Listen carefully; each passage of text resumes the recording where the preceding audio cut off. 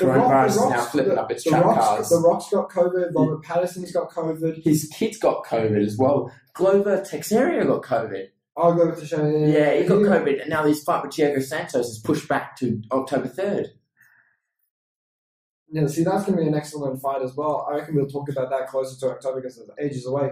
But fucking hell, COVID is taking no prisoners. And because they've got COVID and they're not showing symptoms or anything like that, all this great content is off. Yeah. I was looking so forward to Batman.